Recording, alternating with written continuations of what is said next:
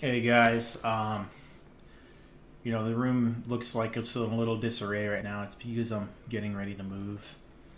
Uh, you're probably wondering where I'm moving to. Uh, not really anybody knows this, but I'm actually a very successful translator. Um, I know Japanese. Uh, you know Emperor Hirohito. I translated his, uh, you know, his declaration of war to the U.S. ambassador.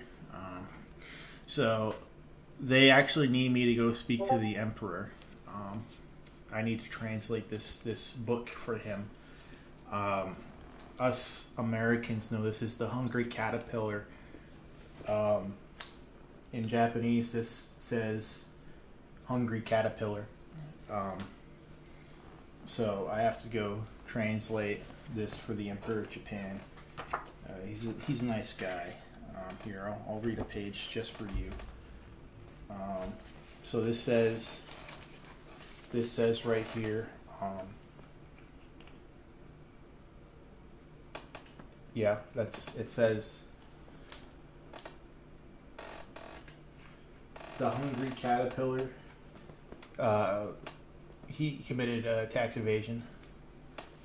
He, uh, he actually uh, went to a food drive and he stole all the food.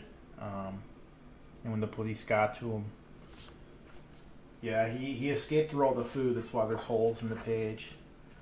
Yeah, so the Hungry Caterpillar committed fraud desu. Um, see, here he is, actually. You can see him in the quarter. He got, he got caught committing tax evasion.